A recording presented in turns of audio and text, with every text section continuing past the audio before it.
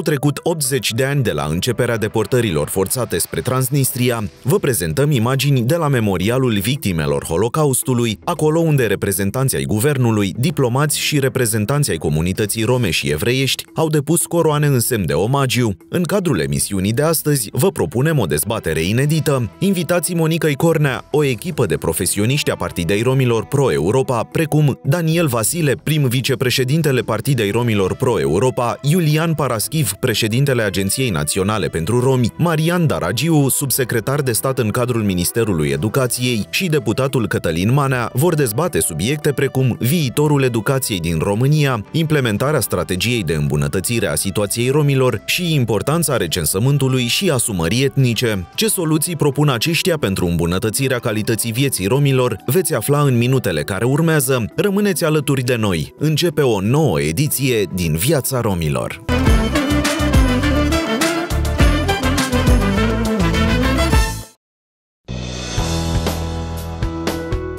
În fiecare an, la data de 9 octombrie, este marcată la nivel național ziua de comemorare a victimelor Holocaustului, instituită prin hotărârea de guvern numărul 672 pe 5 mai 2004, în urma propunerii făcute de Comisia Internațională pentru Studierea Holocaustului în România, condusă de Elie Wiesel. Cu acest prilej, Institutul Național pentru Studierea Holocaustului din România, Elie Wiesel, a organizat săptămâna aceasta ceremonia anuală de comemorare a victimelor victimelor Holocaustului în București. La ceremonia depunerii de coroane au participat reprezentanții ai administrației prezidențiale, guvernului, corpului diplomatic, ai comunității evreiești și societății civile. Lecția dura Holocaustului trebuie să funcționeze ca un far care să ne ghideze pe drumul nostru european. Iar pe puținii supraviețuitori pe care timpul ni îngăduie, trebuie să îi prețuim și onorăm. Crimele trebuie cunoscute, criminalii trebuie expuși oprobiului public, Memoria victimelor trebuie păstrată, iar pe supraviețuitorii și urmașii acestora trebuie să-i sprijinim.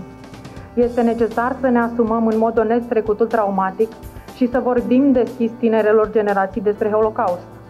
Numai în acest fel vom putea lupta împotriva încercărilor de falsificare a istoriei, tentativelor din ce în ce mai dese de reabilitare a criminalilor și negarea suferințelor victimelor inocente. Scopul de a proteja memoria victimelor Holocaustului și a lupta împotriva fenomenelor care au la bază ura, am numit în ultimul an un reprezentant special al Guvernului pentru combaterea antisemitismului, iar executivul a adoptat în luna mai a acestui an prima strategie națională pentru prevenirea și combaterea antisemitismului, xenofobiei, radicalizării și discursul instigator la ură pentru perioada 2021-2023.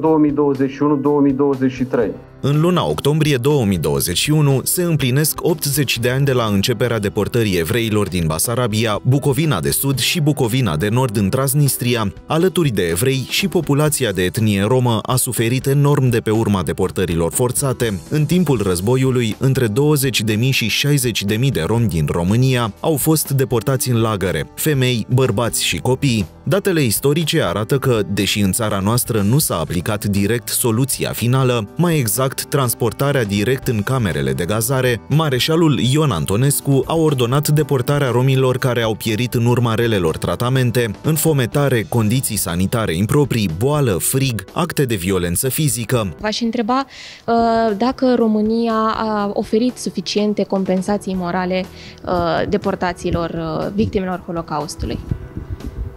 Nu știu dacă România sau statul german Uh, poate oferi vreo compensație morală sau de vreun alt tip care să compenseze suferința oamenilor uh, în acea perioadă. Din păcate, mai sunt puțini supraviețuitori romei Holocaustului. Uh, știu că sunt mai mulți supraviețuitori ai evreilor cu mărturii cu tremurătoare. La noi, din păcate, în momentul de față în România, cred că cifra supraviețuitorilor deportărilor începute în 1942 de regimul antonescian nu depășește 60-70. Avem nevoie ca astfel de momente să fie cunoscute în școlile din România. Guvernul României are o strategie, vorbim de hotărârea de guvern numărul 539, care condamnă și are măsuri ferme împotriva antisemitismului, xenofobiei și a, a discursului instigator la ură la adresa uh, inclusiv la adresa romilor, așa apare articol în, în această uh, hotărâre de guvern. Uh, ne dorim foarte, foarte mult ca uh, discriminarea, rasismul, cel adresat uh, în preponderență minorității rome, să scadă. Este, și de ce spun, nu, nu, nu poate fi combătut, pentru că deocamdată societatea românească are nevoie să fie educată, are nevoie să cunoască mai mult trecutul istoric al minorității rome, al minorității evriești pe teritoriul României și nu numai. Avem nevoie pentru că România, dacă își dorește să fie uh, să construiască o societate sănătoasă, o societate prosperă, trebuie să accepte diferențele. Iar diferențele nu trebuie să despartă, ci trebuie să unească. Exactly 80 years ago, on October 9, 1941, that the deportation of Romanian Jews began.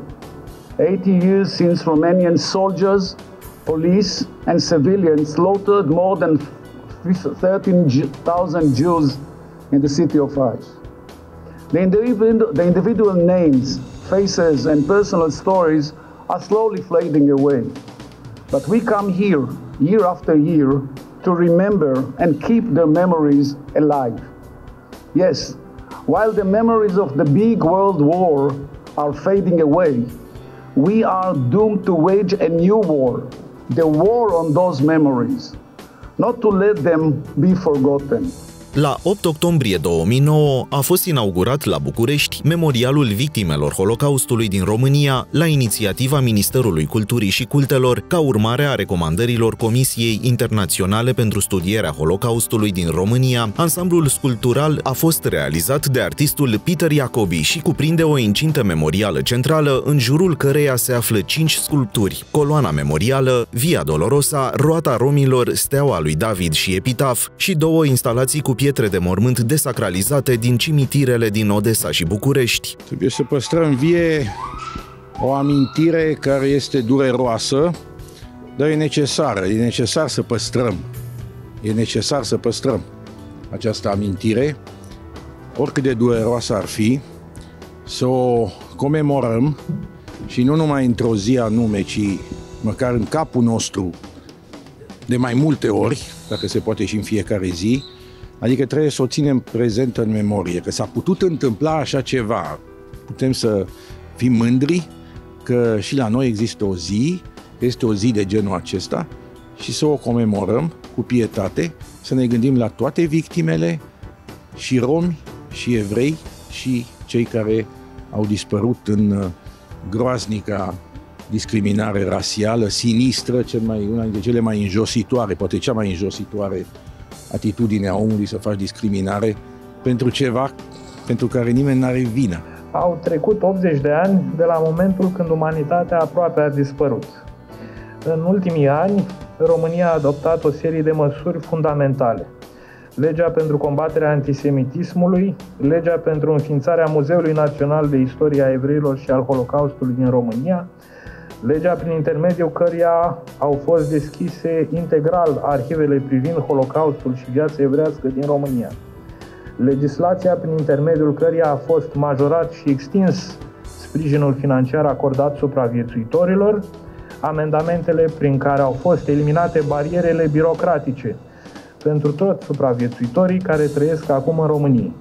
Recent a fost extins și este implementat sprijinul financiar acordat pentru copiii victimelor și supraviețuitorilor Holocaustului. Am inițiat în Parlament proiectul de lege care instituie într-un final măsurile necesare pentru ca începând cu următorul an școlar, istoria evreilor și a Holocaustului din România să fie cu adevărat predată în toate liceele din țară. Rememorarea evenimentelor din perioada celui de-al doilea război mondial și comemorarea zilei Holocaustului reprezintă o expresie a compasiunii și respectului, dar mai ales o responsabilitate civică firească, prin care se poate preveni reiterarea unor astfel de acțiuni cu caracter antisemit, rasial și discriminatoriu. Mesajul pe care întreaga societate uh, ar trebui să-l primească astăzi este acela de a nu uita niciodată atrocitățile la care au fost supuse cele două minorități, mă refer aici la minoritatea romă și la minoritatea evrească, atrocități petrecute în timpul celui de-al doilea război mondial, deopotrivă în timpul regimului antonescian și în timpul regimului hitlerist. Domnule deputat, unde se plasează România din punct de vedere al reparațiilor morale în rândul țărilor care s-au confruntat cu Holocaust pe teritoriul țărilor? În ceea ce ne privește pe noi, uh, pe cei care aparținem minorității și comunității rome, uh, România se situează pe un loc codaș. Și spun acest lucru gândindu-mă la faptul că după 31 de ani de democrație post-decembristă, spun eu că este inadmisibil într-un stat democratic cum este România să nu avem încă un muzeu al istoriei și al culturii romilor din România. Să nu avem un institut pentru studierea problemelor uh, deportării și victimelor Holocaustului și pentru păstrarea memoriei victimelor Holocaustului. Să nu avem încă în manualele de istorie un capitol cât de mic, cât de sintetic care să trateze robia de peste patru secole și jumătate a romilor în spațiul românesc, cât și uh, uh, Holocaustul romilor. Deci lucrurile acestea, din punctul meu de vedere, ar trebui să se întâmple cât mai rapid. Ele nu sunt și uh, sigur că am și un gust amar gândindu-mă că uh, cele două comunități care au fost victime ale regimului hitlerist și ale regimului antonescian, respectiv minoritatea evrească și minoritatea romă, sunt tratate diferit și diferențiat. Adică în spiritul uh, dreptății, în spiritul unor activități și acțiuni echitabile, consider că minoritatea romă trebuie să aibă uh, toate aceste instituții care să contribuie cumva la păstrarea memoriei celor care au pierit în timpul celui de-al doilea război mondial. În calitatea mea de deputat, voi iniția în următoarea perioadă un proiect de lege pentru înființarea unui muzeu uh, al istoriei și al culturii romilor din România, uh, un alt proiect de lege pentru înființarea unui institut uh, pentru păstrarea memoriei victimelor comunității rome, victime ale Holocaustului și ale deportărilor din Transnistria și nu în ultimul rând am în vedere și o modificare a legii educației, respectiv uh, introducerea obligativității ca atât în învățământul gimnazial cât și în cel uh, preuniversitar, respectiv liceal și profesional, în manualele de istorie să existe un capitol care să trateze istoria și evoluția minorității rome pe teritoriul României, cu referire cel puțin la cele două momente extrem de importante din istoria noastră, respectiv robia și Holocaustul romilor.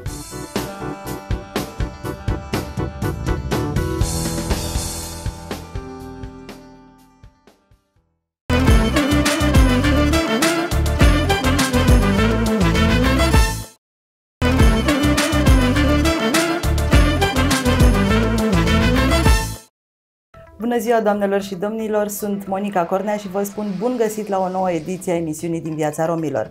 Avem în studio o echipă de specialiști care compun cea mai puternică organizație a romilor cu reprezentare în Parlamentul României, Partida Romilor Pro-Europa. Sunt oameni cu o vastă experiență în cadrul organizației, specialiști în problemele romilor și cărora președintele Nicolae Păun le-a oferit votul său de încredere pentru a implementa strategii în beneficiul comunităților de romi. Așadar, le spun uh, bun venit domnului Daniel Vasile, prim vicepreședinte în cadrul Partidei Romilor Pro-Europa și coordonator pe regiunea Moldova. Bun găsit, Bun, domnule! Bună ziua și bine v-am regăsit! Alături de noi este și Marian Daragiu, subsecretar de stat în cadrul Ministerului Educației. Bun găsit!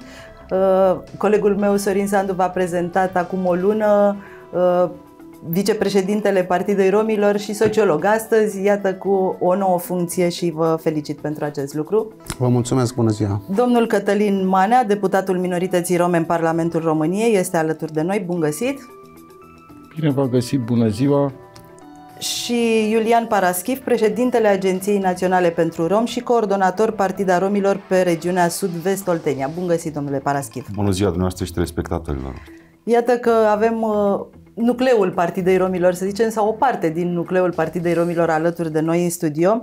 Și la discuția de astăzi îmi uh, doresc să ne concentrăm atenția asupra unor teme ce vizează viitorul imediat atât al populației rome cât și uh, al populației nerome. Educația, recensământul și strategia uh, pentru îmbunătățirea situației romilor sunt uh, câteva teme principale pe care vi le propun uh, în minutele următoare. Așadar, am să încep uh, cu domnul Daragiu și aș vrea să-i dau cuvântul pentru început. Țin încă o dată să vă felicit pentru uh, funcția nou ocupată de subsecretar de stat în cadrul Ministerului Educației, o funcție care vă onorează și este important să menționăm că a venit în urma susținerii Consiliului Director al Partidei Romilor Pro-Europa cu sprijinul grupului parlamentar al minorităților naționale. Și aș adăuga eu și cu girul președintelui Nicolae Păun, le mulțumesc colegilor pentru încrederea uh, pe care mi-au, uh, pe care mi-au acordat-o pentru această, pentru această poziție. Este um, evident că investiția în educație reprezintă uh, cheia de boltă a oricărei societăți. Um, a avea un popor educat este ceea ce ne dorim și noi. Suntem în, într-o situație în care din ce în ce mai mult se pune accent pe educație. Sunt programe în momentul de față la nivelul Ministerului Educației, sunt strategii educaționale pe care dorim să le fructificăm în interesul nu doar al uh, membrilor, să spunem, Partidei Romilor, pentru că din pozițiile pe care le avem reprezentăm de fapt interesele tuturor cetățenilor, tuturor copiilor din România și cu precădere și implicit uh, uh, copiii de etnie romă. Ne dorim ca prin programele pe care le vom desfășura și vom avea ocazia să, să discutăm despre ele, să ajungem în uh, colțurile cele mai îndepărtate ale, ale țării, acolo unde copiii, cetățenii acestei țări au nevoie să își pună baze corecte și concrete pentru un viitor uh, mai bun, atât pentru ei cât și pentru societate. Aveți o vastă experiență în acest domeniu și uh, știu că în lunile următoare agenda dumneavoastră de lucru din uh, poziția de subsecretar de stat uh, va fi uh, una plină. Care sunt uh, strategiile pe care intenționați să le implementați? Vin din, societate, din societatea civilă, cu o experiență de poate peste 20 de ani de muncă în programe educa- educaționale. Știu că există un nivel de așteptare foarte ridicat acum de la această, de la această poziție nouă în, în Ministerul Educației. Trebuie spus totuși franc, prezența mea în această instituție nu vine să aducă lumină în cadrul Ministerului. Ministerul are programe la, la îndemână. Prezența mea acolo este girul că atât Ministerul cât, uh, cât și uh, noi ca minoritate romă avem garanția că educația este o prioritate inclusiv pentru, pentru minorități, inclusiv pentru copiii de etnie romă iar uh, cu sprijinul colegilor din, uh, din Partida Romilor, cu sprijinul Consiliului Director și al conducerii organizației, voi face tot ceea ce de, depinde de mine ca aceste strategii, și vă, vi le voi menționa în câteva, uh, în câteva minute, aceste strategii să fie uh, puse în practică, pentru că până la urmă ele reprezintă viziunea și sunt obiective clar statutare ale Asociației Partida Romilor Pro-Europa. Uh, vorbim în primul rând despre, uh, despre programele uh, macro. Este programul operațional Educație și Ocupare, POEO. Sunt, este programul POITS, acel program operațional pentru incluziunea și demnitatea socială. Vorbim de Planul Național de Redresare și Reziliență, Vorbim de uh, programul, este o inițiativă a Parlamentului European care se numește Garanția pentru Copii și Garanția pentru Tineret. Sunt programe care fiecare dintre ele surprind problematica uh, și prioritizarea uh, acțiunilor asupra educației. Ne dorim ca prin aceste proiecte, bugetate de altfel, uh, să putem să ajungem la copii la copiii din, din medii dezavantajate în, în primul rând. Vă dau un exemplu, programul Masă Caldă, care se, se găsește în, în noul uh, program uh, al asumat de președinția României, um, uh, un program care, care vine să surprindă diferite domenii de interes pentru, pentru copii. Masa Caldă este un alt program pe care ne-l dorim dincolo de cele 150 de localități care se desfășoară, în care se desfășoară în prezent, uh, îl dorim evident suplimentat și ne dorim să ajungă la, uh, la, cât, mai multe, la cât mai multe familii. Uh, sigur, prin măsurile care se vor desfășura în perioada, în perioada următoare, școlile vor putea să acceseze aceste, aceste programe și aceste măsuri, măsuri europene transpuse în legislația românească. Deci vor avea acces uh, școlile care se înscriu în aceste, în aceste programe. Unele dintre programe sunt programe pilot, precum Masa, masa, masa Caldă. Caldă da. Uh, dar uh, prin uh, demersurile pe care le fac inclusiv colegii mei, inclusiv colegii din uh, domnul uh, deputat Căt- uh, Cătălin Manea, uh, din, din Parlament vor fi acelea de a extinde aceste programe la cât mai multe, la cât mai multe localități. Este foarte simplu. Copiii foarte săraci nu pot să meargă cu stomacul gol la, la școală. Nu. Aș, vrea, aș vrea să vă întreb, domnule deputat, cum, uh, cum se prezintă uh, în acest moment comunitățile de rom? De ce spun acest lucru? Pentru că uh, toți colegii de la Partida Romilor în uh, această perioadă ați fost foarte mult uh, timp plecați și ați uh, bătut țara în lung și în lat, cum se spune.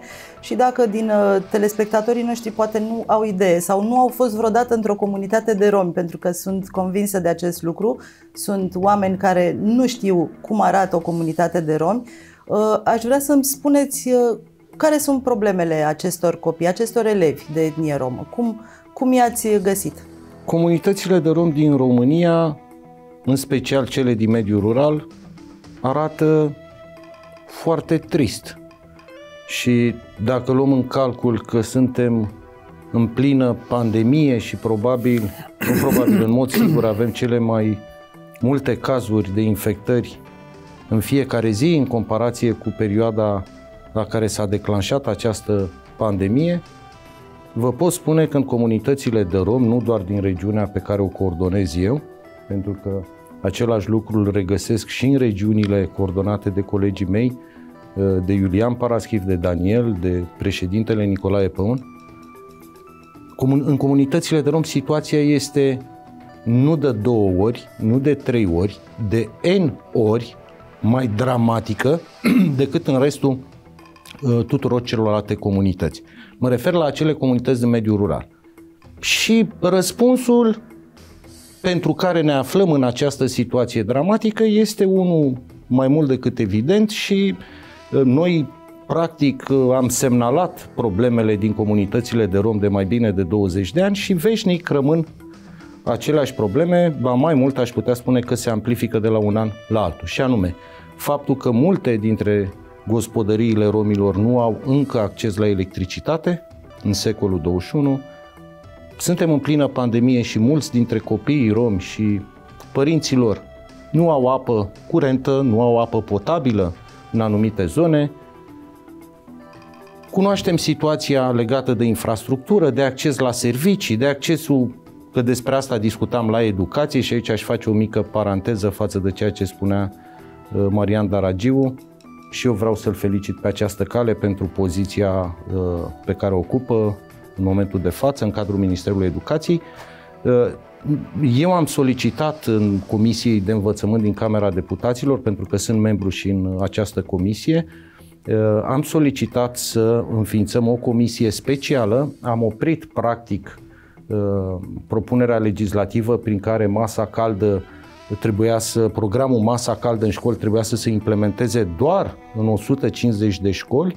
Am spus că este o măsură nedreaptă, este o măsură uh, total lipsită de acea viziune corectă și anume a echității în școli pentru toți copiii, indiferent, sau mai bine spus, fără deosebire de rasă, naționalitate, apartenență etnică, și acea comisie specială care s-a înființat până la sfârșitul acestei luni Uh, va face amendamentele necesare astfel încât programul masă caldă în școli să ajungă în toate localitățile vulnerabile din România. Ca o concluzie, situația din comunitățile de rom, noi am fost prezenți cu uh, uh, o campanie, spun eu, de informare civică a membrilor comunităților de rom cu privire la apropierea recensământului populației și a locuințelor, în sensul de creștere a asumării identității etnice, de semnalarea problemelor reale din comunitățile noastre și evident că am constatat și anul acesta, ca de altfel în toți ceilalți ani din trecut,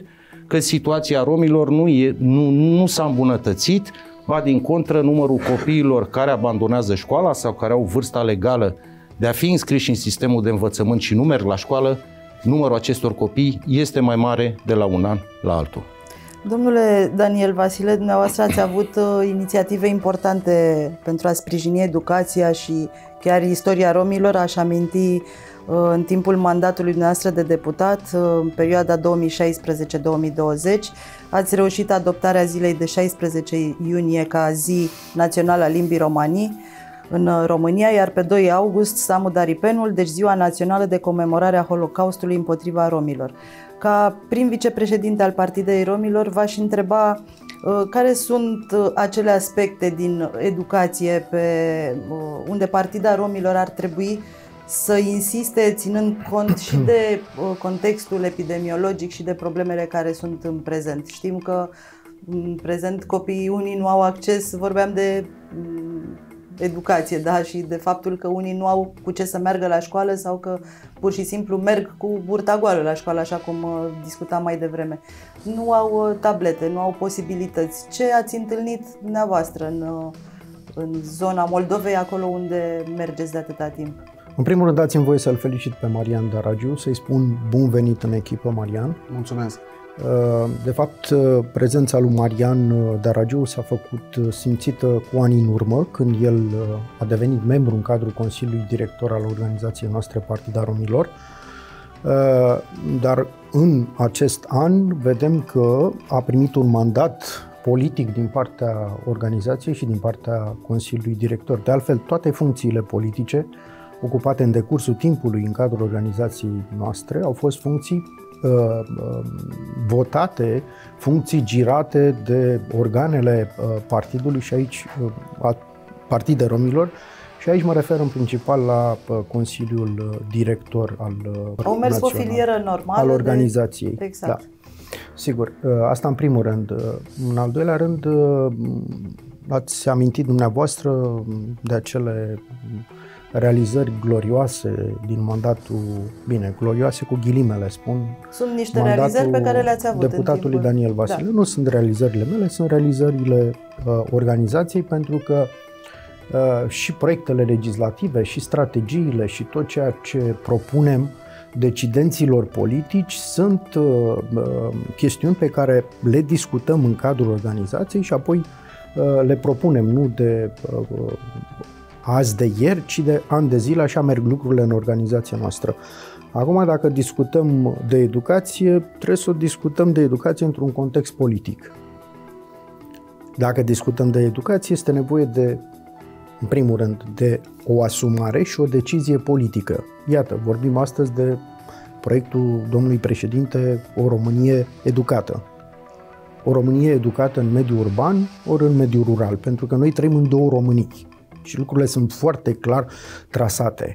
Adică o Românie urbană în care oamenii, cetățenii acestei patrii, uh, inclusiv cetățenii de etnie romă, au acces la facilități, au acces la utilități, au acces la o educație de calitate. Pe de o parte. Și pe de altă parte vorbim de o Românie rurală, în care regăsim comunități numeroase de etnici romi, în care, așa cum a subliniat și colegii, avem o Românie rurală în care cetățenii nu au acces la drepturile fundamentale. O școală dintr-o comunitate uh, de romi, o comunitate celebră, uh, este în renovare de 2 ani de zile. Suntem în al treilea an. Uh, copiii de etnie romă, copiii din comunitatea de uh, romi, învață în casa unui etnic rom, care și-a pus casa la dispoziție pentru a nu întrerupe ciclul educațional al copiilor. Și iată, vorbim de o Românie educată, vorbim de un învățământ de calitate și multe, multe, multe astfel de exemple. Închei prin a vă spune următorul lucru. Este nevoie de decizie, este nevoie de asumare politică dacă vrem o Românie educată, dacă vrem ca aceste discrepanțe între România urbană și România rurală să dispară și totodată dacă vrem ca în mediul rural discrepanța și uh, decalajul socioeconomic, educațional dintre populația majoritară și populația de rom să dispară, este nevoie de investiții. Este nevoie de asumare politică și de decizie uh, uh, politică. Mă întreb către domnul Iulian Paraschiv, pentru că până la urmă sunteți și membru în uh, Partida Romilor, aveți o, Prin funcție, aveți o funcție în Partida Romilor, însă reprezentați și Agenția Națională pentru Romi. Reprezentați o instituție publică și v-aș uh, ruga să Eu cred că, dincolo de toate eforturile pe care Partida Romilor, alături de alte organizații, le-au făcut de-a lungul timpului, uh, poate prea puțin în raport cu multitudinea problemelor pe care comunitatea sau partea comunității uh, rome uh, le întâmpină. De cele mai multe ori atunci când vorbim despre comunitatea romă, scoatem în evidență sărăcia, lipsa accesului la servicii de diferite tipuri, fie că vorbim de educație, sănătate și așa mai departe. Există și o altă parte a comunității rome, de care vorbim foarte puțin. Acea parte a comunității rome care uh, este activă, este plătitoare de taxe și impozite uh, și care trebuie să se bucure de servicii de calitate, ca de altfel întregi, întreaga populație de pe teritoriul României. Rolul și responsabilitatea noastră ca organizație, în primul rând, și cred că și subliniez acest lucru, uh, faptul că în echipa Partidei Romilor s-au alăturat uh, mulți oameni în ultimul timp, așa cum este și cazul lui Marian Daragiu, este o dovadă clară a faptului că organizația s-a maturizat. S-a maturizat, a atras lângă ea uh, și alte persoane care nu au făcut parte din organizație, s-au implicat activ și iată că, în urma Consiliului, votului din Consiliul Director, aceste persoane au fost delegate să reprezinte interesele comunităților cu romi în diferite instituții, cum este cazul și Agenția Națională pentru Romi, cum este cazul lui Marian Daragiu și așa mai departe. Ceea ce noi trebuie să înțelegem este că ceea ce noi putem face în momentul de față, eu în calitate de secretar de stat, Marian în calitate de subsecretar de stat, Cătălin deputat și așa mai departe. Instrumentele pe care noi le avem la îndemână sunt limitate sunt limitate pentru că puterea pe care noi avem în momentul de față pentru a putea influența deciziile și a gestiona resurse pentru rezolvarea acestor probleme sunt limitate. Comparându-ne cu o altă minoritate, da? vorbim de minoritatea maghiară, au un uh, vicepremier, vorbim de 30 de par, grup parlamentar și nu de acum. Și nu de acum. Este foarte important și probabil că mulți dintre telespectatorii care sunt apropiați de mișcarea romă și care ne privesc acum Uh, se uită puțin ciudat la noi și spun bine, bine, ce caută Daragiu, care în trecut a contracandidat Partida Romilor, uite, este la masă cu Partida Romilor în momentul de față, mai mult de atât, Consiliul Director al Partidei Romilor l-a mandatat și este într-o funcție uh, politică, este subsecretar de stat. Asta este o dovadă clară a faptului că Partida Romilor este o organizație matură, care, dincolo de interesele personale, înțelege că și să pună pe primul loc interesul comunităților cu romi, este o dovadă faptului clară că Ați ne dorim, un profesionist până ne dorim, la urmă. Ne dorim foarte, foarte mult ca organizația și trebuie să înțeleagă toți cei, toți cei care ne privesc, Partida Romilor este o organizație deschisă și loc este pentru toată lumea, astfel încât, făcând eforturi comune, să găsim lucrurile care ne unesc și să încercăm să facem eforturi comune pentru a veni în sprijinul comunităților cu rom. Cred că trebuie să ne reîntoarcem la comunitate, să creăm punți de legătură între noi și comunitate, indiferent de pozițiile publice pe care le ocupăm sau nu, sau de funcțiile pe care le avem în organizație, astfel încât nivelul de încredere și relația între comunitate, instituții și organizația Partida Romilor să crească. Strategia în momentul de față, strategia de îmbunătățire a situației romilor în momentul de față are 8 avize din partea a 8 ministere. Suntem în plin proces de avizare, doar că instabilitatea uh, politică a oprit procesul. Actualul uh, premier, uh, domnul Câțu, nu poate să, alături de ceilalți miniștri de resort, nu poate asuma documentul, acest proiect de hotărâre de guvern, întrucât în perioada interimatului nu pot adopta documente noi de politică este publică. Este un subiect pe care aș vrea să-l abordăm și mai pe larg, Sigur. adică să-l dezvoltăm alături de colegii din platou, însă după o scurtă pauză de publicitate. Revenim în câteva minute.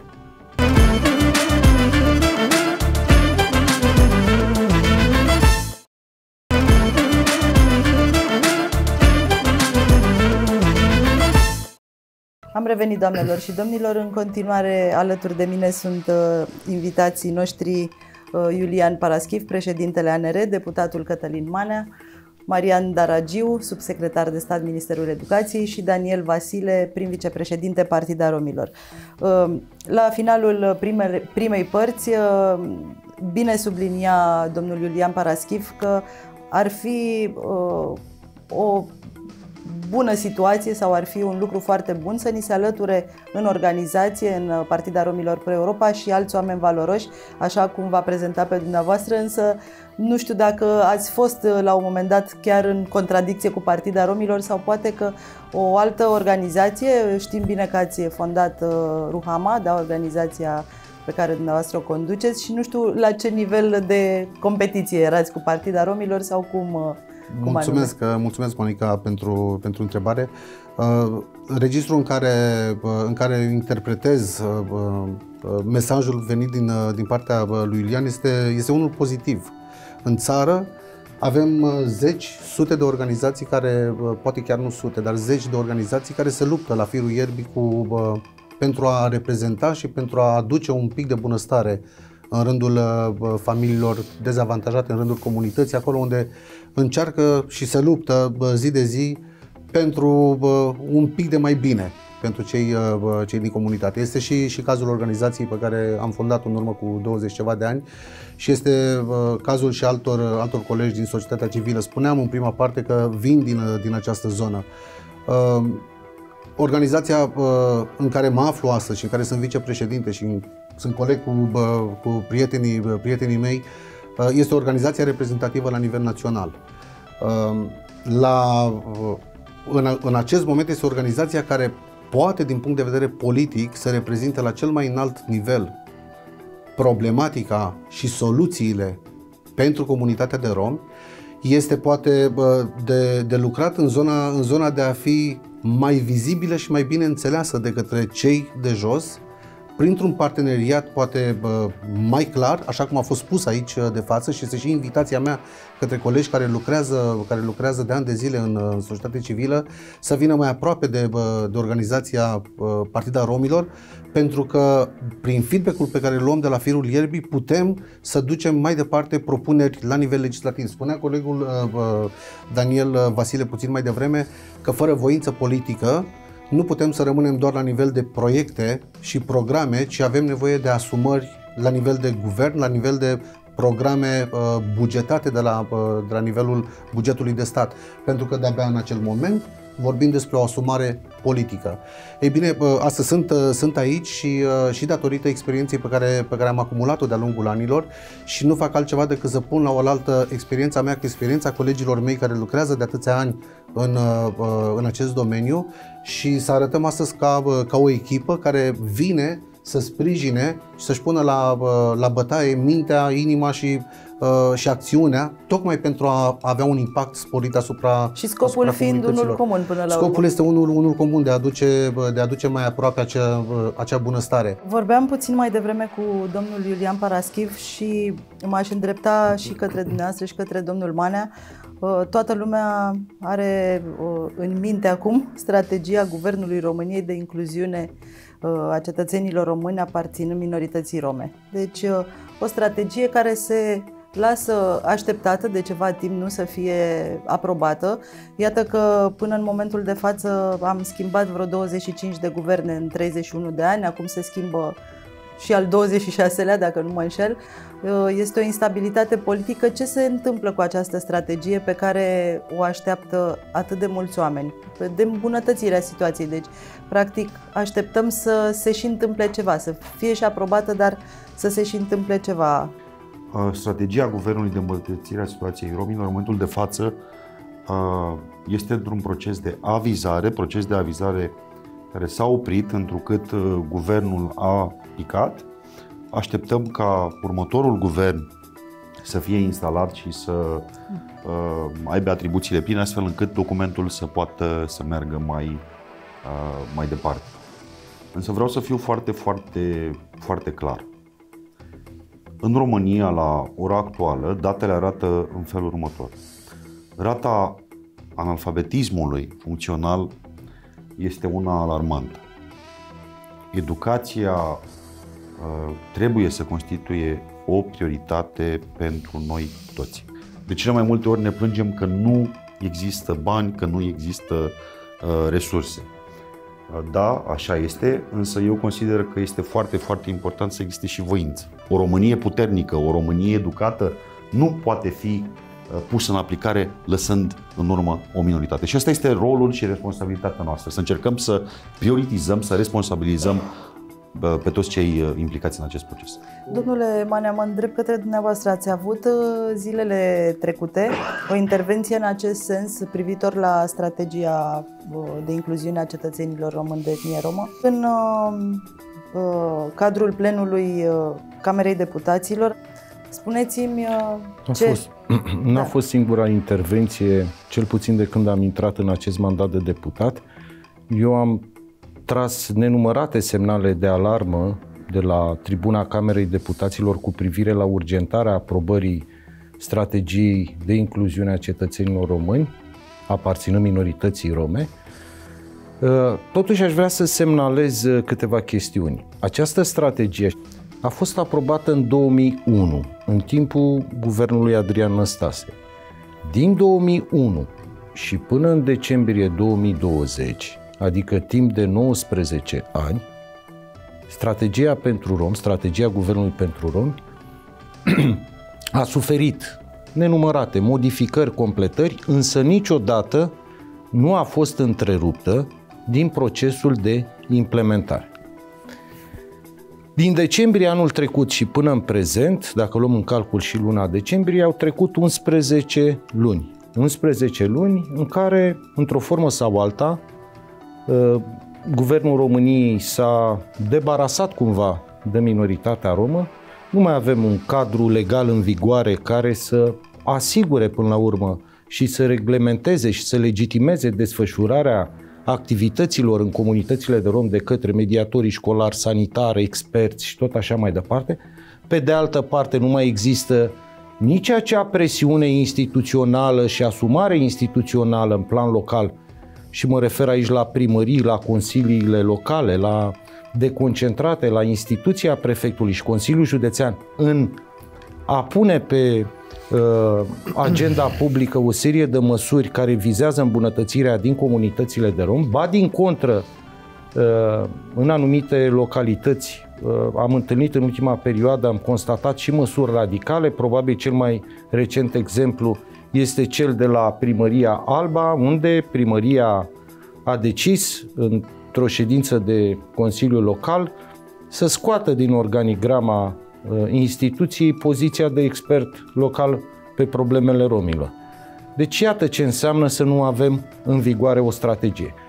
Uh, eu am făcut un apel uh, către domnul prim-ministru interimar Florin Câțu, chiar am purtat o discuție pe tema strategiei cu domnia sa, m-a asigurat și ne-a asigurat pe noi, organizația Partida Romilor, că strategia va fi adoptată cât mai curând posibil și nu spun că a fost doar o afirmație nefondată, uh, chiar dacă guvernul actual este interimar, uh, poate uh, adopta o hotărâre de guvern pentru că această strategie a fost modificată și completată și aprobată de la început prin hotărâre de guvern. Guvernul este limitat în această perioadă în a emite ordonanțe de guvern, uh, ordonanțe de urgență și proiecte de lege. Astea sunt puterile pe care nu le mai are în momentul de față acest guvern interimar. Sunt fer convins că în următoarea perioadă, sper eu, uh, într-o lună maximum strategia să fie aprobată uh, și închei cu, cu această ultimă uh, precizare. Din punctul meu de vedere și din punctul nostru de vedere al organizației, strategia pentru romi trebuie să fie aprobată de la anul printr-o lege. Strategia pentru romi să fie asumată de data aceasta de legislativ, iar includerea în uh, bugetele ministerelor responsabile și cu atribuții în îmbunătățirea situației romilor să nu mai fie o opțiune sau nu, să nu mai fie, uh, uh, cum să spun, să nu mai fie Aleatorii, efectul da. unei, unui mecanism de lobby, de milogeală, aș putea spune, de stat pe la uși, ci să fie o asumare instituțională corectă, așa cum avem nenumărate strategii în țara aceasta aprobate prin lege. Domnule Daniel Vasile, aș vrea să vă întreb, în timpul mandatului dumneavoastră, ați fost și președinte ANR și deputat, practic ați trecut uh, prin aceste funcții. Spuneți-mi cum au fost adoptate strategiile pentru romi în mandatul dumneavoastră? S-a făcut ceva concret? S-a văzut ceva în comunitatea romă? Acum, știți cum e? Echipă-echipă, dar într-o echipă, atunci când se ia o decizie, există și atitudini sau, de ce nu, opinii diferite. Să dau câteva exemple. 1. Dacă vorbim de educație de calitate, un prim-ministru și un ministru al educației, în mandatul de deputat, mi-au promis că vor vizita școala din Săcele, unde învață 1800 1800 de elevi de etnie romă. Școala din Săcele, din comunitatea de romi, este o construcție din epoca comunistă. Uh, o construcție în care elevii de etnie romă învață la subsol. Și atât în mandatul de secretar de stat, cât și în mandatul de deputat am încercat să influențez, să aduc resurse financiare astfel încât acea școală să fie renovată, adică să avem un învățământ de calitate. până la urmă, da. Da. N-am reușit acest lucru, însă ceea ce s-a reușit de autoritatea publică locală a fost să construiască în comunitatea de majoritari un alt corp, o altă școală care nu era populată. Ăsta este un exemplu de ceea ce înseamnă decizie politică și asumare. Atât domnul prim-ministru cât și domnul ministru al educației cunoșteau aspectele pe care eu le invocam și mi-au promis că vor vizita acea școală tot cu ideea deci, de a influența. Nu, da. nu s-a schimbat nimic. Și în momentul de față școala din Săcele funcționează uh, în același astfel. condiții. În da, același și vorbim condiții. despre lucrurile Unu. acestea pentru că bugete nu sunt, adică Doi. se aprobă nu strategia. Sunt, sunt, sunt bugete. Al sunt doilea bugete. exemplu pe care vreau să vi-l dau este legat de organizația noastră și de implicarea liderilor locali și de implicarea organizației. În orașul Dolhasca există o comunitate de romi în județul Suceava, se numește Gulia, o comunitate foarte numeroasă. În acea comunitate, prin prezența în Consiliul Local, al treilea mandat al consilierului nostru local, s-a reușit să se renoveze și școala, de fapt școlile, că sunt două școli, comunitatea e numeroasă, și grădinița, în așa fel încât majoritarii vor să-și aducă copiii cu autobuzul școlar să învețe în școala din Gulia, din comunitatea noastră de romi, pentru că școala este renovată și învățământul este de calitate. Iată că se poate, iată că avem și exemple pozitive. Și aș reveni puțin la uh, politicile publice și ce înseamnă uh, implementarea acestor politici publice încă din anul uh, 2001. Eu sunt persoana, sau mă rog, sunt membru organizației care vin și spun că uh, este posibil ca mesajul nostru să fie uh, greșit. În sensul că am aprobat sau am participat la un proces de luare a unor decizii care nu au reprezentat decât declarații politice, declarații de intenție venite din partea decidenților politici, fie că au fost de stânga, fie că au fost de dreapta, de centru stânga-dreapta. În sensul că cu toți, atât noi, organizația politică, cât și societatea civilă, am pus umărul la adoptarea acestei strategii naționale de îmbunătățire a situației romilor, care a ajutat, pe de o parte, România să intre în Uniunea Europeană, pentru că era o condiționalitate de acces de aderare la Uniunea Un criteriu Europeană, politic. un criteriu politic, această strategie, apoi uh, diversele fonduri europene care au venit au solicitat implicarea și adoptarea unui document de politică publică, dar au rămas simple declarații. De ce spun lucrul ăsta? Pentru că, din punct de vedere m, tehnic, din punct de vedere legislativ, această declarație politică și o să găsiți un document de 100 de pagini, una din strategii are chiar 100 de pagini și eu sunt vinovatul pentru că, mă rog, am susținut această uh, strategie într-un fel sau altul. Este vorba de hotărârea 14 și o altă strategie adoptată tot în mandatul meu de președinte al agenției 1221, modificată. Am crezut la acel moment. Am crezut că vor respecta legislația națională. Am crezut că există decizie politică, am crezut că există asumare politică și că politicienii și guvernul României, pentru că aici vreau să fac o paranteză, fără participarea organizației noastre în procesul politic, un domn prim-ministru nu ajungea niciodată prim-ministru. Pentru că dacă pierdea alegerile la Târgu Jiu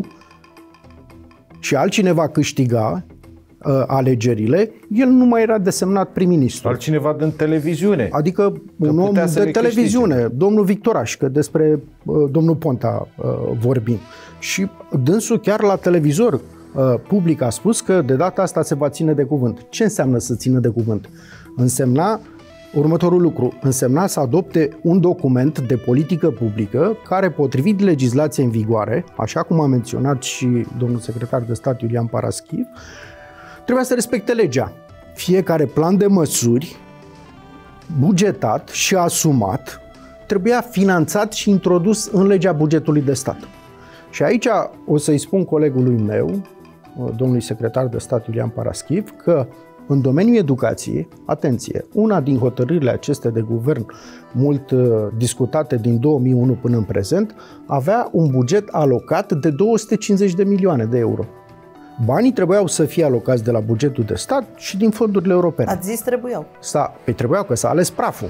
Ministerul Educației sau celelalte ministere, niciodată, niciodată, prin toată influența politică a grupului parlamentar al minorităților, a deputatului romilor, indiferent de nume și perioada istorică în care și-a exercitat mandatul, niciun minister nu a introdus ca filă de buget și strategia națională pentru rom cu acel plan de măsuri și cu bugetul alocat potrivit dispozițiilor din legea bugetului de stat și instrucțiunilor date de Ministerul de Finanțe.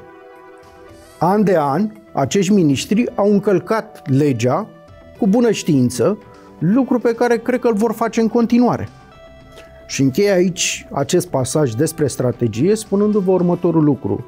Din punctul meu de vedere, trecând prin aceste etape, spun că astăzi ar trebui ca organizația noastră, așa cum a pre- uh, precizat și Cătălin, să se întoarcă uh, puțin cu spatele către această strategie și să solicităm clasei politice, decidenților politici, asumare și decizie politică.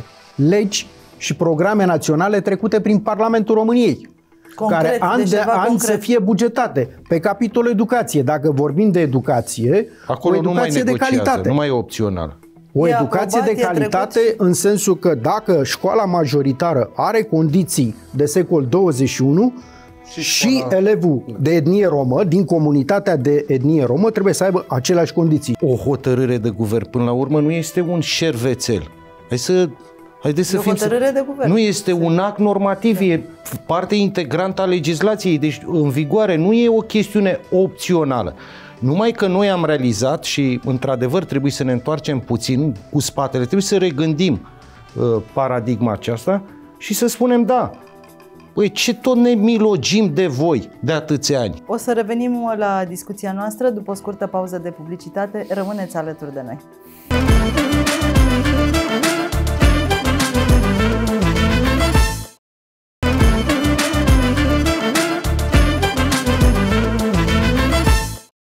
Am revenit, doamnelor și domnilor. În continuare, alături de mine sunt uh, invitații noștri uh, Iulian Paraschiv, președintele ANR, deputatul Cătălin Manea, Marian Daragiu, subsecretar de stat Ministerul Educației și Daniel Vasile, prim vicepreședinte Partida Romilor. Cei care ne privesc acum înțeleg sau nu înțeleg acest mecanism, încercăm să le explicăm uh, cetățenilor și telespectatorilor noștri, însă uh, oamenii așteaptă niște măsuri concrete, așteaptă să se îmbunătățească ceva în viața lor, așa cum am vorbit și de educație și uh, sfera uh, de, mă rog, locuire și dezvoltare comunitară și absolut tot ce intră în acest uh, capitol. Pentru mine lucrurile sunt foarte clare. Și cine așteaptă minuni de la o strategie, uh, eu nu mă îmbăt cu apă rece.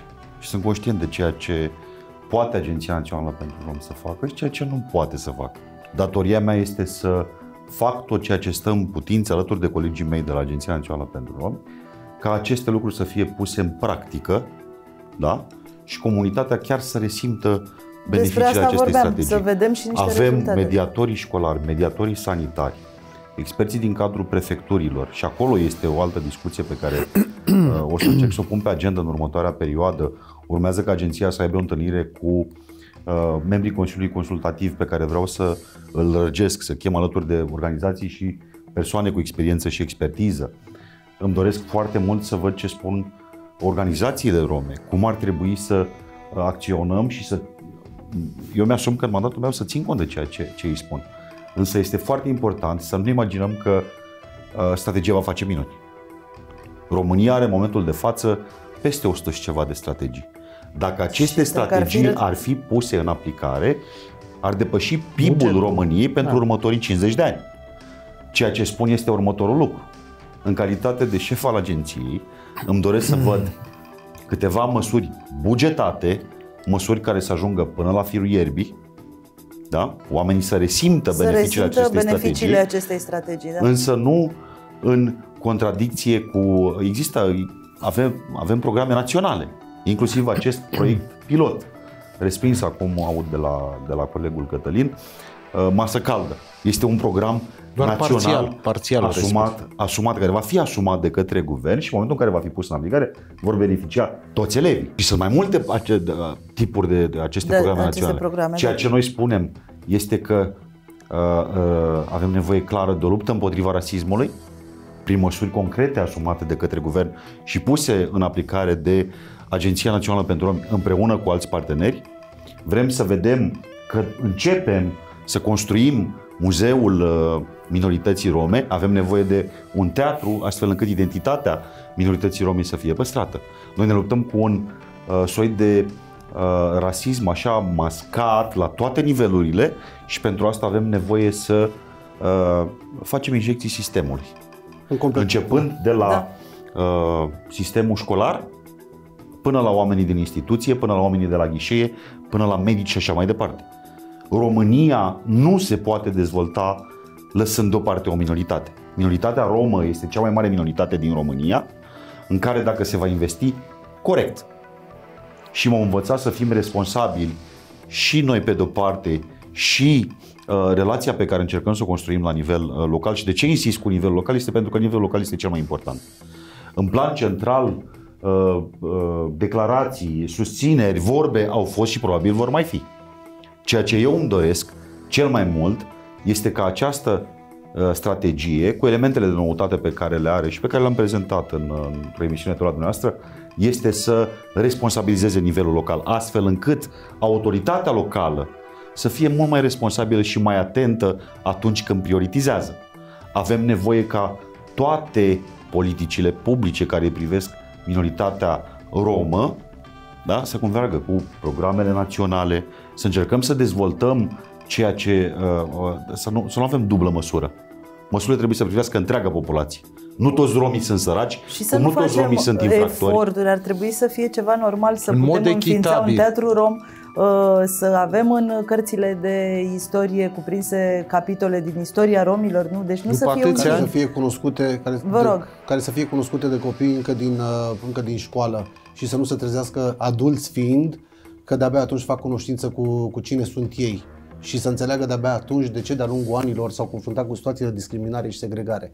În completarea a ceea ce spuneau colegii, sunt perfect de acord, o strategie, dacă nu este o strategie vie, iar a fi viu înseamnă a avea lege care să fie pusă în practică, ea rămâne doar un document de, declarativ, un document care doar justifică prezența unor uh, inițiative, unor demersuri, unor vise, ca să zic așa.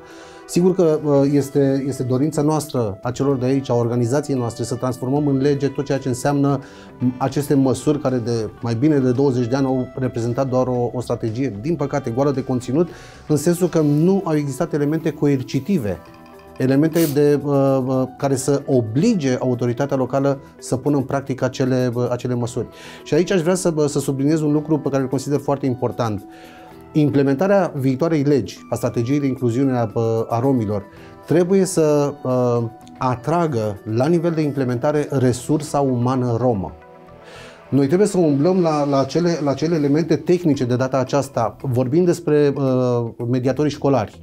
Și ne dorim atât de mult să avem persoane în comunitate din rândul comunității vorbitoare de limba romanii, care să stea de vorbă cu părintele, să-l convingă, să-l ajute, să înțeleagă importanța educației, pentru că vorbim de părinți poate cu un nivel de redus de instruire, să facă legătura între școală și, și comunitate, să se asigure că acei copii ajung în siguranță la școală. Sunt multe cutume la, la nivelul comunității și avem nevoie de o resursă din comunitate. Dacă nivelul de instruire impus de lege este să găsim persoane cu liceu și bacalaureat, atunci dați-mi voie să vă spun că vom avea mari dificultăți în a identifica resursa umană romă.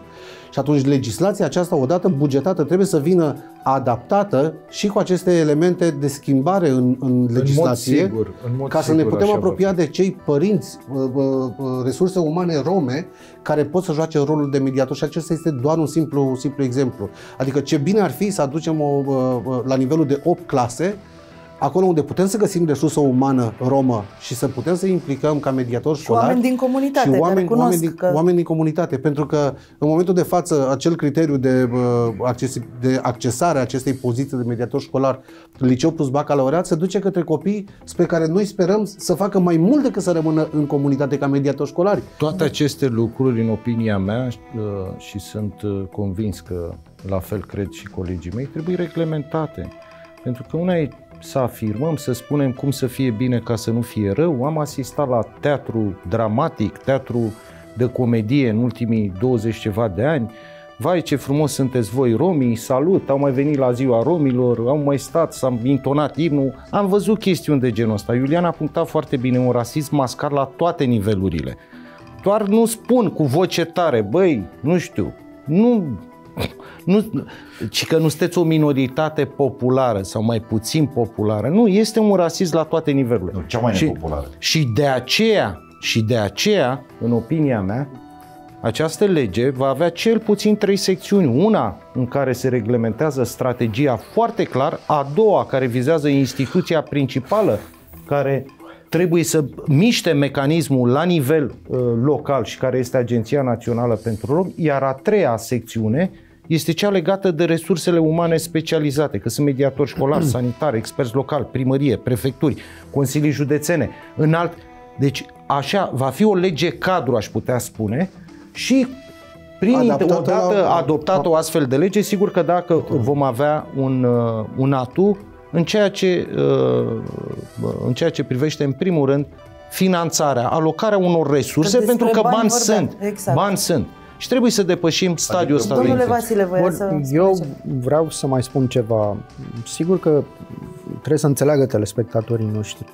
Uh, nu se poate adopta o lege intitulată Strategia Națională de Îmbunătățire a Situației Romilor. Eu am vorbit de două lucruri. Programe sectoriale și legi sectoriale.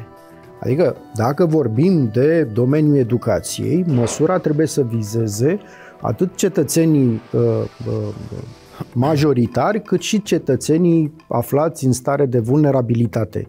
Uh, un exemplu foarte clar, s-a vorbit aici de uh, programul de uh, a doua șansă sau școală după școală, mai concret, sau acel program de uh, masă caldă. Păi, programul ăla de masă caldă uh, și școală după școală uh, prezumă o infrastructură, crearea unei infrastructuri, pentru că dacă n-ai infrastructura necesară, poți să ai și banii și nu poți să duci în școala din Săcele acel program, pentru că copiii învață la subsol. școala pe... Deci asta spun, da. un program sau o lege, un program național sau o lege sectorială în care să vină să spună, domnule, toate școlile de la nivel rural, urban, sunt dotate cu finanțare de la bugetul de stat, sunt dotate cu infrastructură necesară derulării programului de școală după școală. Și autoritatea publică locală este obligată să găsească resurse financiare care să ducă acest program în școlile din sau mediul le, sau urban sau mediul rural. Resursele. Sau sunt puse la dispoziție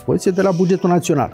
Despre asta discutăm despre o asumare și o decizie politică pe anumite uh, proiecte de legi, pe anumite programe naționale care se adresează tuturor cetățenilor aflați în stare de vulnerabilitate sau tuturor situațiilor care, cum să vă spun, ies din starea de normalitate.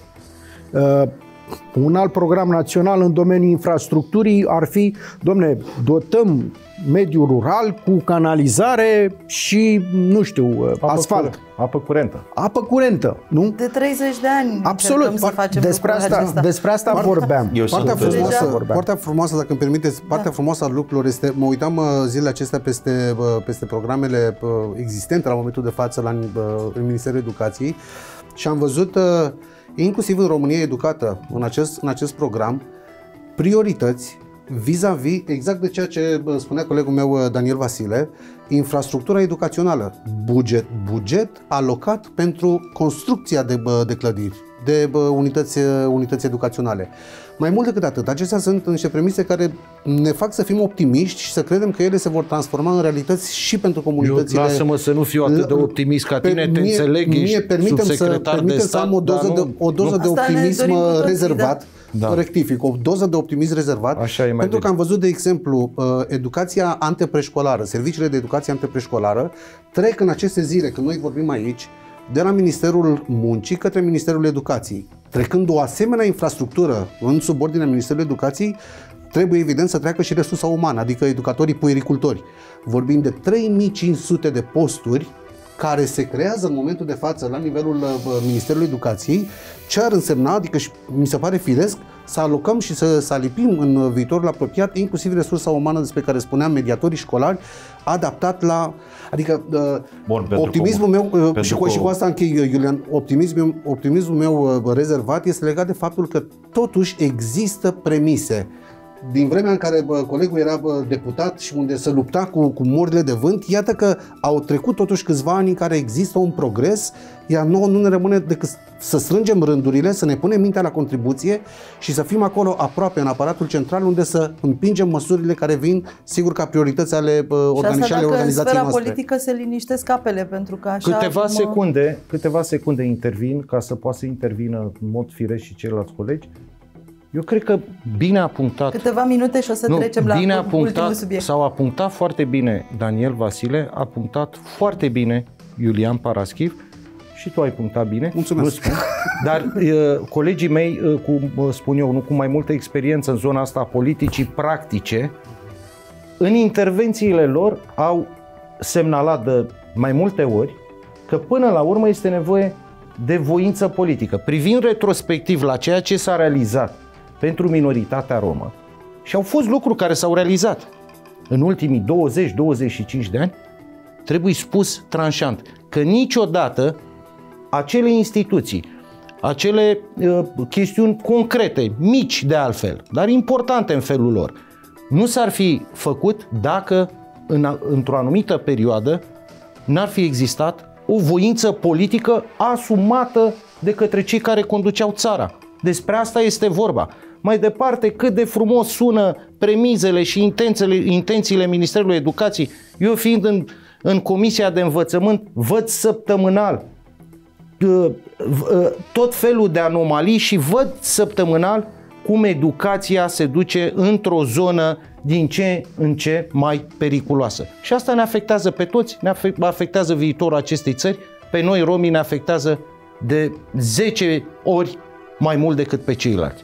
Iar cei care ne Da. Repet, privesc concluzia așteaptă este rezultatele. voință politică și putem să facem lucruri bune. Continuăm discuția noastră cu ultima temă din uh, această emisiune, importanța recensământului care va avea loc în anul 2022. Știm că recensământul de probă s-a încheiat deja, s-a derulat și are o miză foarte mare, cel puțin pentru minoritatea romă.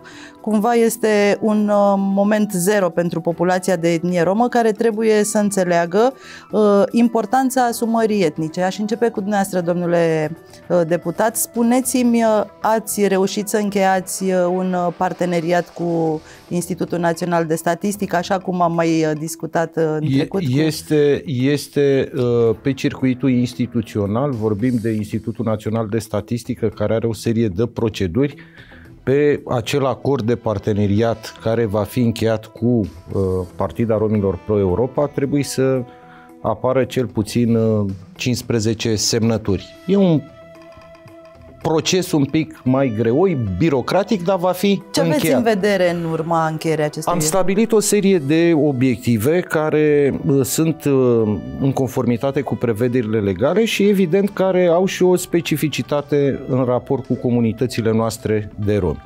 Și spun acest lucru uh, gândindu-mă la faptul că recensământul populației și a locuințelor de anul viitor pentru Partida Romilor va fi și pentru comunitățile de rom din România va fi extrem de important, nu doar din perspectiva numărului de etnici care își vor asuma apartenența etnică și care se vor declara așa cum mulți așteaptă.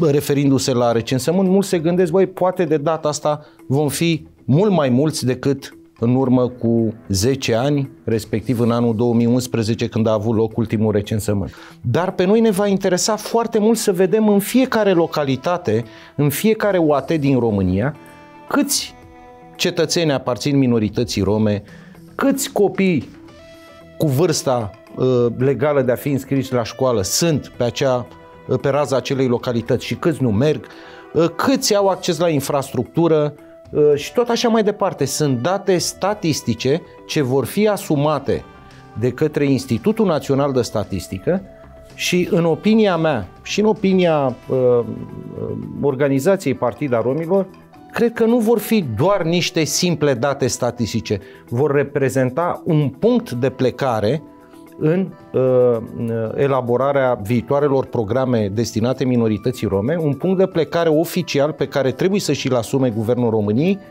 uh, subliniind printre altele că datele de la recensământul populației și locuințelor de anul viitor vor fi comunicate, preluate oficial și de către Eurostat. Legat de recensământ, foarte pe scurt, vor fi două etape Uh, prima perioadă va fi de autorecenzare și va dura două luni, ceea ce denotă că fiecare cetățean al acestei țări va avea posibilitatea să conecteze pe o platformă dezvoltată de Institutul Național de Statistică și să se autorecenzeze de pe, o, și de pe un mobil. De pe... până la urmă drumul recenzorului mm, la Da, domiciliu? în etapa a doua, care din păcate va dura tot două luni, uh, recenzorii se vor deplasa uh, la domiciliu doar Uh, la domiciliu acelor persoane care nu s-au autorecenzat în prima perioadă și noi trebuie să fim foarte atenți pentru că în protocolul cu INSEU am stabilit că în comunitățile cu pondere semnificativă Partida Romilor și minoritatea romă să aibă recenzori.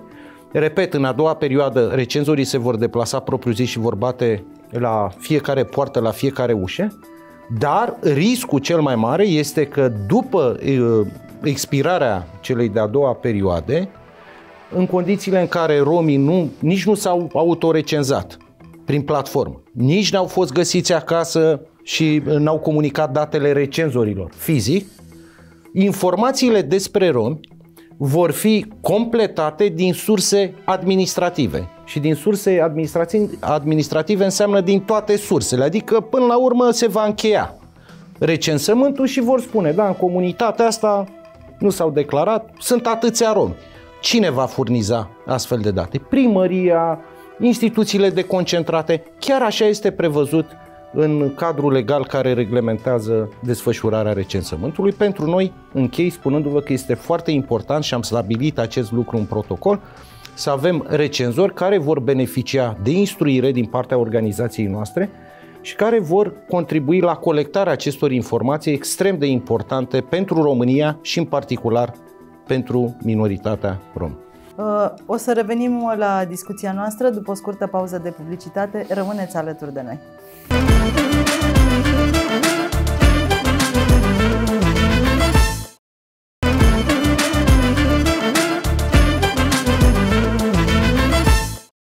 Am revenit, doamnelor și domnilor. Partida Romilor Pro-Europa uh, a demarat o campanie și știu că ați fost uh, cu toții în teritoriu plecați și chiar ați uh, avut uh, acest obiectiv de a merge în comunități și a urmări acest, uh, acest lucru. Spuneți-mi, vă rog frumos, uh, de ce credeți că romii încă au rețineri în a-și declara apartenența etnică? Sunt astfel de probleme și nu ne ferim să, să spunem adevărul, încă mulți nu vor să-și declare apartenența. Ce se întâmplă? Noi, ca oameni care venim din comunitate, uh, înțelegem foarte bine acest, uh, acest fenomen și așa cum uh, bine a punctat colegul, colegul meu, Cătălin Manea, prezența recenzorilor romi în acest mecanism de recenzare va fi capitală pentru a-i relaxa pe cetățenii de etnie romă să-și asume identitatea. Nu să spun să-și asume identitatea cu mândrie. E greu să-ți asumi identitatea cu mândrie într-un context al uh, discriminării, al fenomenului de discriminare, segregare, rușine, jenă și acestea sunt câteva dintre elementele care îi rețin pe rom să-și asume identitatea.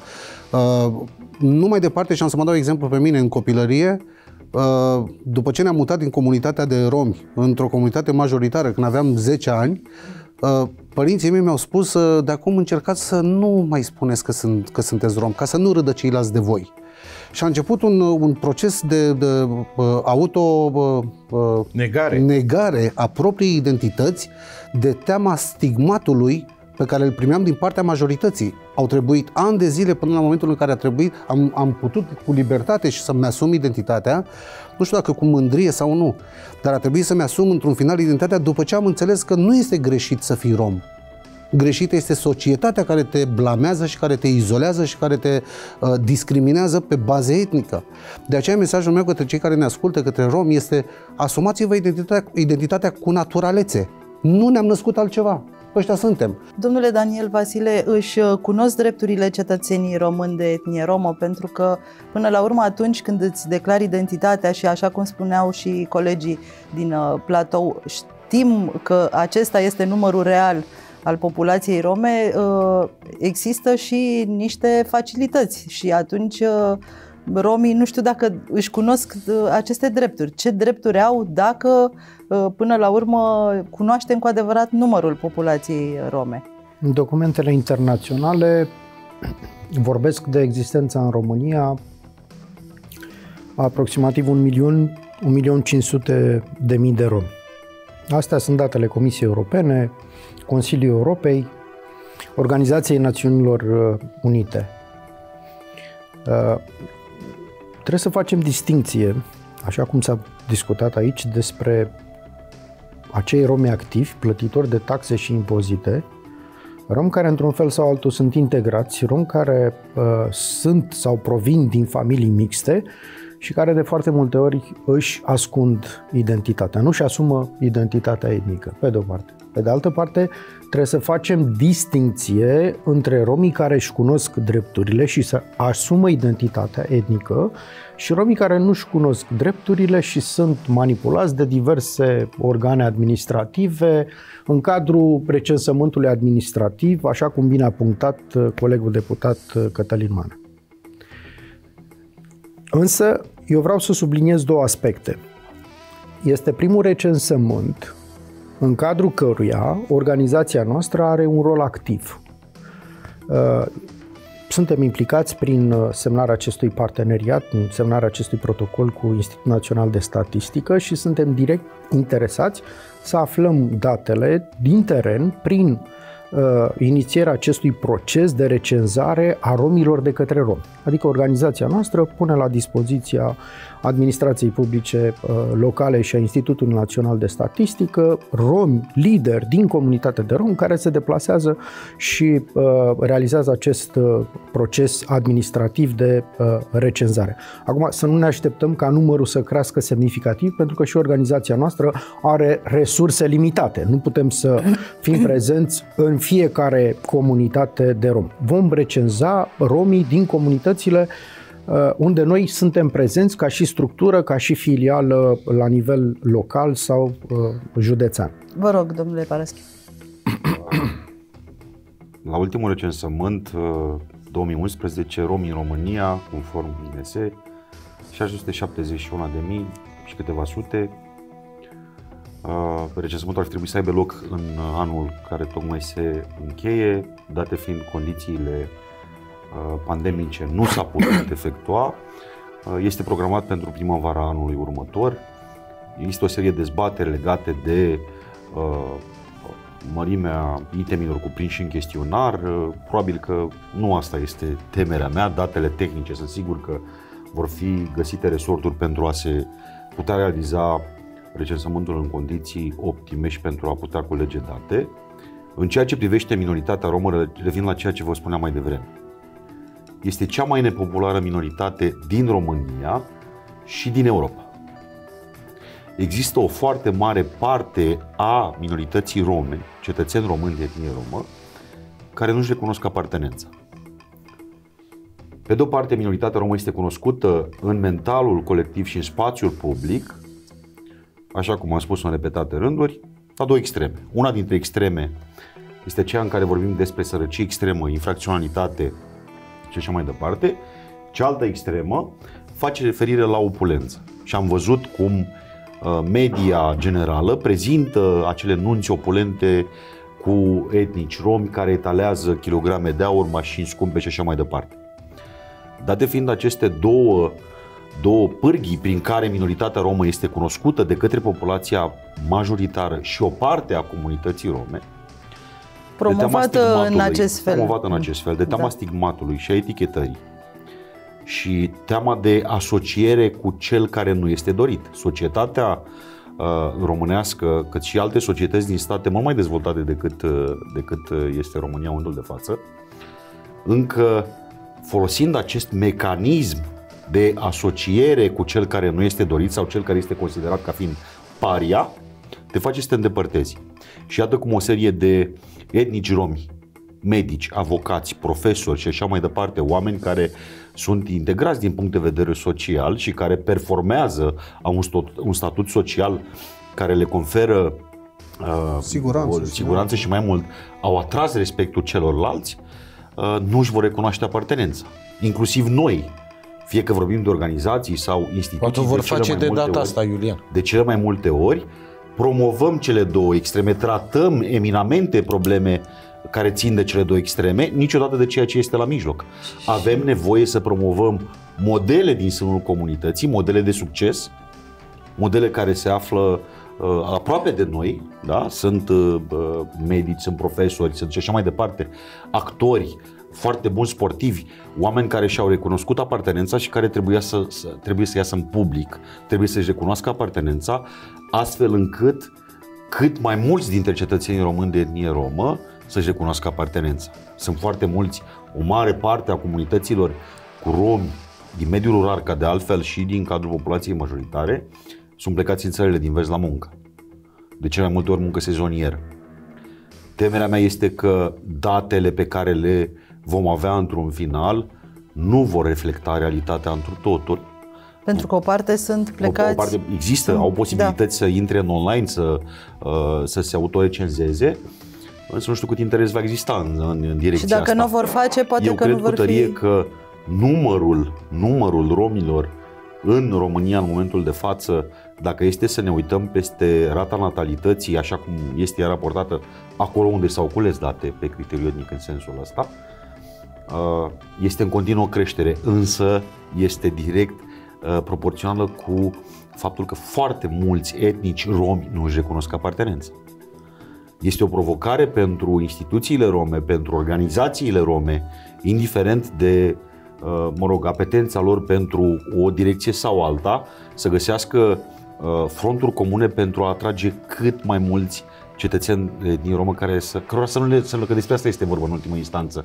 Faptul că vom fi declarați un milion sau un milion jumătate sau 800 de mii nu va schimba cu foarte mult felul în care politicile publice sunt construite pentru ei, ci mai degrabă este vorba despre cum o parte a cetățenilor acestei țări își reneagă o apartenență etnică datorită stigmei și a felului în care sunt priviți dacă își vor recunoaște apartenența. Sau cum și-o asumă. În felul ăsta trebuie noi să construim activitățile pe care le, le avem și ați văzut că uh, inclusiv uh, în acțiunile noastre locale vorbesc acum de activitățile din plan local pe care Partida Românilor le implementează, încercăm să venim cu modele pentru copiii din comunitate.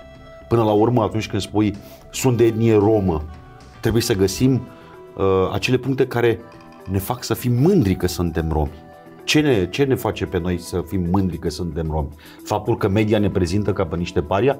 Faptul că atunci când în România și în multe țări din vest, când vorbești despre etnicitatea și despre apartenența la etnia romă, de ce mai multe ori se pune semn de echivalență între minoritarul rom și infractor? Nu. Asta trebuie să fie o provocare. Trebuie să arătăm că romii sunt productivi și sunt cetățeni activi ai României și ai Europei și trebuie ca noi să găsim resortul alături de statul român, astfel încât în următorii 5, 7, 8, 10 ani elevii, tinerii de astăzi, atunci când vor uh, ajunge uh, viitor cetățeni activi, să nu-și renege apartenența, că despre asta este vorba în ultimă instanță. Și mai mult decât care... atât să privim ca pe o normalitate acest lucru, că până la urmă Normalitatea este, este normalitatea ca ceva... să devină ceva normal, trebuie ca uh, stigmatul, uh, eticheta, uh, uh, rasismul, mentalul, felul în care mentalul colectiv privește minoritatea romă trebuie să fie schimbat. Și este o perspectivă pe care noi trebuie să o gândim de acum și pentru viitor. Faptul că apărăm de cele mai multe ori și punem în prim plan elemente care țin de sărăcie extremă și așa mai departe sunt foarte importante. Și oamenii nu trebuie să lăsați așa. Însă responsabilitățile țin de instituții și mecanismele pe care aceste instituții le au. Ceea ce ne interesează pe noi este ca generația nouă, cea care crește acum, să construiască o, o Românie în care discriminarea, rasismul, stigmatul, eticheta să nu mai, să nu mai fie existe, atât de, da. de prezentă în mentalul colectiv. Monica, dacă îmi permiți, aș mai adăuga o singură, o singură frază pentru telespectatori. Este important de, de precizat faptul că datele acestea sunt protejate. Uh, nu vor apărea datele, nu vor fi publice, numele, nu vor fi publice numele, prenumele persoanelor respective. Ele sunt anonimizate. În momentul în care sunt folosite, noi vom ști procente. Atât la sută din populația țării trăiește în condițiile astea sau sunt de etnia respectivă. Deci uh, cetățenii Absolut, nu trebuie să aibă da, cetățenii și... nu, vor trebui, nu trebuie să aibă emoții că li se vor folosi datele într-un fel sau altul. Uh, vorbim de, despre Institutul Național de Statistică, instituție publică, deci toată lumea este în siguranță, este important Pro, să ne asumăm... Procedural spun eu că vom avea o problemă cu completarea chestionarului, am simulat și să știți că a durat 32 de minute în condițiile în care bănuiesc că eu intro, introduc destul de repede datele. Deci mi-a luat mie 32 de minute. Din acest motiv vă spuneam, guvernul a transmis deja un proiect de lege, este pe circuitul Camerei Deputaților, pentru a simplifica. Da, da. Este greu să-mi imaginez că vor sta uh, oameni mai în vârstă sau vor sta câte 30 ceva de minute să, să Pe de altă parte se întâmplă odată la 10 ani. Și Dincolo de toate aceste merită... aspecte, da, ca mesaj și ca o concluzie, dacă îmi permite să transmit și un mesaj de încheiere, uh, spun că mm, romii trebuie să depășească anumite complexe.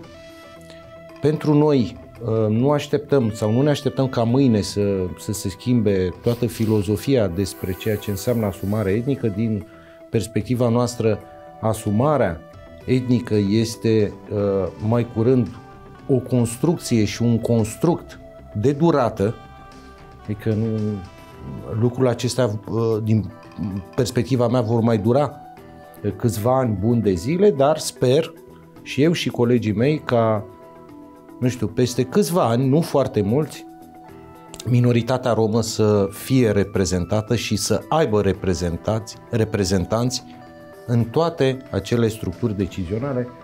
Exemplul dat de Daniel Vasile a fost mai mult decât relevant pentru ceea ce poate să facă un consilier local ales la Dolhasca și tot așa mai departe. Îmi asum identitatea, cum și noi ne asumăm cu toții și suntem mândri că suntem romi. Asta e adevărat. Mulțumesc uh, foarte mult pentru această discuție interesantă și mi-aș dori să o continuăm pe acest subiect cu recensământul și poate vom uh, uh, dezvolta acolo și referitor la rezultatele recensământului, să vedem cât de importante sunt rezultatele recensământului, să spunem telespectatorilor noștri cât de important este uh, ca un cetățean român de etnie romă să-și declare identitatea. Aceasta a fost ediția noastră de astăzi. Le mulțumesc invitațiilor mei. Până săptămâna viitoare, toate cele bune, un weekend liniștit.